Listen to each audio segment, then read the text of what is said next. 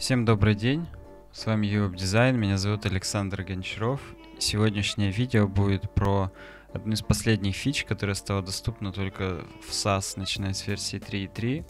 Ну, была доступна во всех бета-релизах еще в 2013 году, но э, в паблик вышла только вот в начале 2014. Она называется Source Maps. Это карта источников, если дословно перевести. Это файл, который позволяет нам браузеру как-то рассказать о том, какую структуру имел проект до компиляции в конечный файл. Давайте сразу к примеру перейдем. У меня... Я тут сделал проект. SAS Source Maps назвал его. Здесь индекс HTML из разметки э, рэпер, в котором три параграфа с разными классами и заголовок h1 подключен файл style css. Вот он. Можете его наблюдать. Он компилируется вот из этого. Он импортирует четыре файла. Meta colors, sizes, base, wrapper. В colors у нас хэш из четырех цветов с ключами. И я написал функцию, чтобы map не путаться никогда. Просто color и название цвета он из этого массива вытаскивает. То же самое с размером. Все одинаково. Base файл присваивает какие-то стили к бодику, тут вот типографика, бэкграунд, что то же самое с заголовками, параграфами, там отступы небольшие, в общем так, по мелочи. И у рэпера здесь немного адаптивного дизайна для маленьких экранов, стопроцентный, для побольше сделаем небольшой контейнер посередине. Ну, давайте сейчас запустим это все в хроме, посмотрим, как выглядит. Вот примерно так. Э, сразу скажу замечание, очень важно, чтобы наш проект находился на локальном сервере, даже несмотря на то, что это HTML файл, если здесь будет вот такой вот примерный путь, то тогда Chrome сможет нормально перезагружать изменения в реальном времени без live reload, без всех вот этих штук. Просто сразу он это будет э, включать. Если это будет просто путь типа там файл, двоеточие, три слэша и какой-то наш проект, то Chrome не будет этого перезапускать.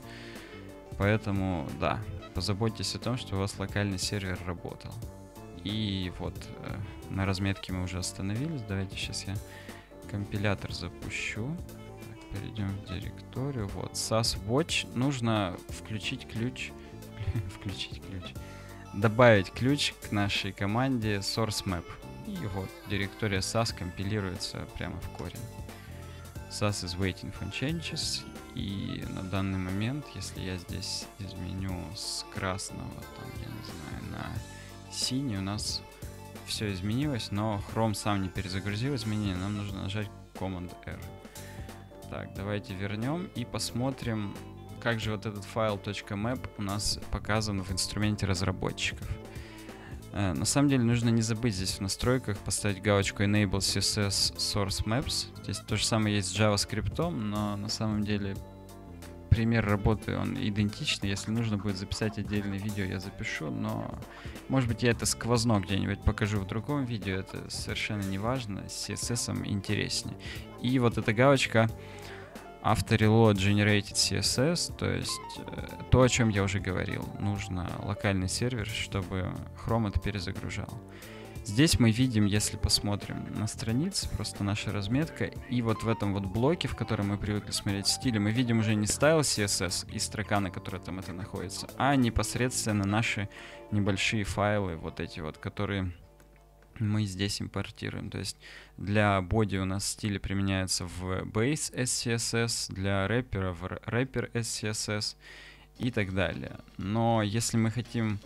Э, да, мы здесь, если мы на них нажмем, мы просто перейдем в этот файл, можем все что угодно сменить, и в реальном времени у нас это все применится. Но для этого мы указываем Chrome, где этот файл находится. То есть э, base SCSS, он не знает, куда это сохранять. Мы единожды base SCSS показываем, где находится. Так, сейчас я SAS Source Maps, SAS, вот он, base SCSS. Не забудьте дописать расширение, а то он просто так появится. Заменить. И шрифт, вон, вырос на глазах. Сейчас я как-нибудь посерьезнее изменю, да, чтобы наглядно видно. Можно сразу здесь менять. Консоль ловит изменения в файле base SCSS. Если мы здесь его откроем, редактор, естественно, тоже его поймает. Ой, это я Хорошо так у меня получилось. Здесь тоже все меняется, автоматически перезагружается. Chrome очень покладисто выполняет свою работу. В Colors та же самая штука. Если мы здесь изменим этот файл, напишем blue, например, он нас спросит, где это находится. Он, в принципе, нас даже уже подводит к директории мета. Нам нужно только расширение дописать, нажать заменить. И все последующие изменения здесь будут меняться, тут тоже перекомпилироваться, все в реальном времени. Я вот не знаю, насколько эта фича вообще необходима, но то есть на самом деле я всегда привык просто работать вот так вот с редактором здесь, Live Reload плагином каким-то, который автоматически перезагружает браузер, и мне не принципиально, пишу я это здесь или справа. На самом деле Здесь, возможно, даже дерево проекта не так удобно стилизовано, как тут. Ну, не знаю, это на самом деле все дело вкуса. Здесь даже вкладочки есть. То есть, ну, на самом деле это все уже предельно удобно. Но что касается поддержки браузеров, то вот, например, давайте откроем тот же самый проект в Safari и поймем, что все не так радужно.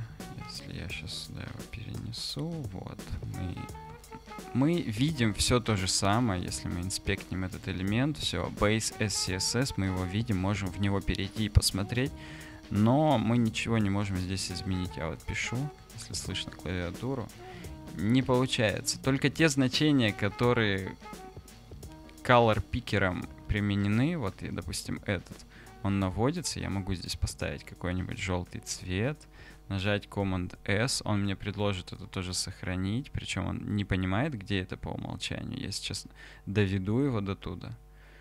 Вот, сохраню. Консоль действительно поймала изменения. Сам Safari ничего не перезагрузим, надо нажать Command R. В общем, это не очень, я бы сказал, приятный workflow, и но, тем не менее, всю структуру можно посмотреть. То есть, ну, для дебажения это хоть какой-то примерный уровень работы. Но зато в Safari не надо ничего включать. Это все работает по умолчанию. Вот. Так, сейчас я красный цвет обратно верну, а то мы... Тот желтый у нас останется в проекте. Да, все работает. Что касается Firefox, я вчера, когда готовился к скринкасту, вообще долго пытался понять вообще, как это все работает здесь, но на самом деле тоже ничего необычного. Есть у нас сразу эти файлы здесь в редакторе стилей. Мы их можем просмотреть, и если мы здесь... Это инспект элемент или нет? Да, это. Пишем, то тоже у нас здесь base SCSS, то есть как бы просмотр весь source мэпов налажен, но работа с ними в реальном времени не очень. Я здесь, если это что-то сменю, то он мне даже спросит, куда сохранить. Я ему даже сейчас покажу, куда сохранить но, насколько я помню, он не будет перезагружать это в реальном времени. Так, SAS, Base, CSS, заменить. Да, консоль это все сменила, но сейчас я вот 18 пикселей сделаю. А нет, на самом деле тоже в реальном времени меняет. Я недооценил Firefox или не недоподготовился. Ну, прикольно, прикольно. Сейчас попробуем цвет сменить, будет ли он это, это в реальном времени делать. Но на самом деле занятно. Блин, как же эту штучку-то поменьше сделать. Blue. Сейчас я ему покажу. Colors. В мета он у нас здесь находится. Заменить. Да, тоже меняет в реальном времени, это прикольно, но с Firefox я лично работать не очень привык, поэтому, ну, как бы э, плюсик к Mozilla в их копилочку. Они тут даже стиль сменили в последнем браузере, чтобы немного к хрома приблизиться, видимо на полную на это настроены. Ну и что касается компаса, то на самом деле работа точно такая же. Сейчас давайте перейдем обратно туда. Я этот проект продублировал. Сейчас я его открою здесь в брекете. То, весь точ, точно такой же проект, только еще config RP, который показывает нам, какие директории, как это все дело компилировать. Давайте запустим Watch, Compass Watch. Так, ну, супер юзерскими правами да, Compass Watch и точно такой же flag source map эту директорию. Все, компас ожидает изменений. Да, если здесь тоже этот проект запущу отдельно.